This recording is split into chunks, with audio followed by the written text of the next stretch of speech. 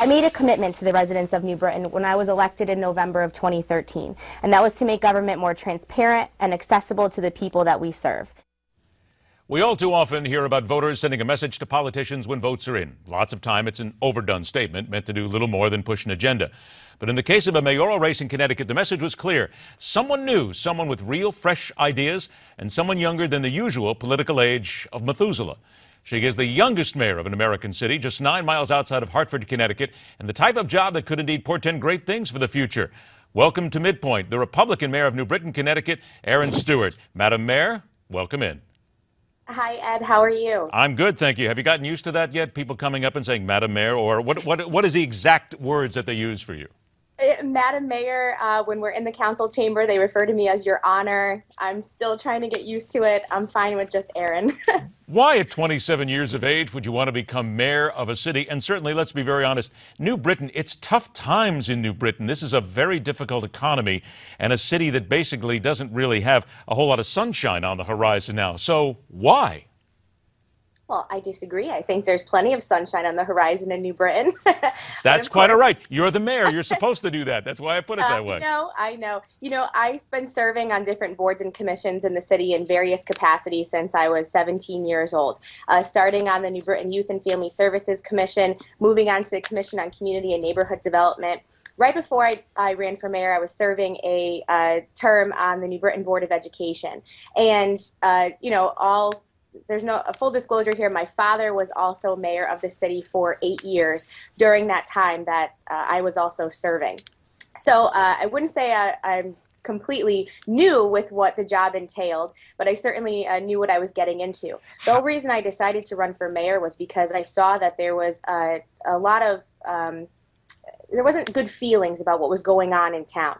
There was a ordinance that was being passed uh, that had to do with fining or charging landlords an additional $150 a year per unit. Now, uh, the city council was taking up uh, a public hearing on that and it was going to be a lot of people coming to city hall so i figured i'd be a fly on the wall i'd want to come and check it out I showed up at City Hall that night and there was a thousand people packed into this building. Not just in this building, they were overflowing on the outside of City Hall, rioting, uh, picketing. It was insane. And I think it was at that moment that I realized that there needs to be some serious change in the communication between that top office and the people that, that we serve. And that was really the breaking point when I decided I'm going to give this a shot.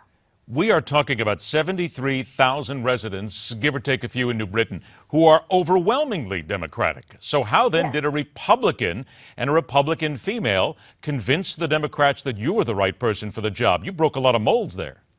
I certainly did. And, you know, I think it's just taking the approach of talking to people. And when you bring your message to folks, and the thing about New Britain is they don't vote for people in their local elections based on the party. They vote on the people that they know, the people they feel comfortable with. Uh, you know, my family's been in this town for hundreds of years. Uh, we have a lot of connections, whether it's through little leagues, whether, you know, my cousins are all coaches. I was a softball coach. Um, we know the families, we know the people. But I think the most important thing that resonates with folks uh, is when you're just honest with them. You know, I, I would always say to them, look, Democrat, Republican, it doesn't matter. Here's what I want to do for this city. We've got to get our finances back under control. We've got to start talking positively about what we have to offer. And we've got to make some serious considerations in what we can do to bring new business in. And I think I'm happy to say in the past year and a half that I've been there, we've done that. We've been honest with everyone. And they haven't been you know always the most popular decisions but if you're communicating with people they can understand it and they appreciate you so much more for that. Well it's interesting. Here was a story in the washington post recently that said that just 20% of republican women want to see a female president. Now, this is interesting. It said nearly 6 in 10 Democrats want to see a female president. Fewer than 1 in 5 Republicans agree. 20% of the women in the GOP say they, quote unquote, personally hope for a president of their gender. You've got to be a little bit dismayed about that. Just 20% of Republican women polled want to see a female president. How do you break through that and get people to believe that the best person for the job is the best person for the job regardless? Well, I think that also plays into the fact of what female players are out there in politics.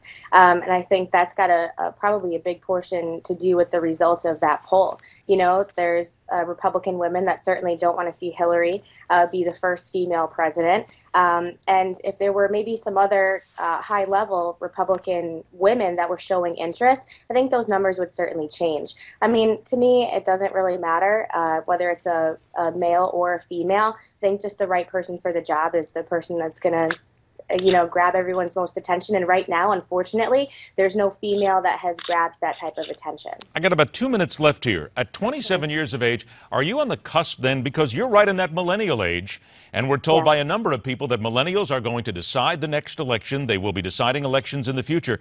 But there are those people who still say that millennials aren't that interested in politics. Come on, 20 somethings don't give a darn about what happens in politics. They're more interested in making money.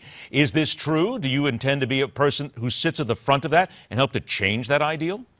Absolutely. I mean, it is true. I mean, people in my generation are more concerned about getting their, careers in order and, and making money. And politics certainly isn't a business where you make money. I'm learning that firsthand right now.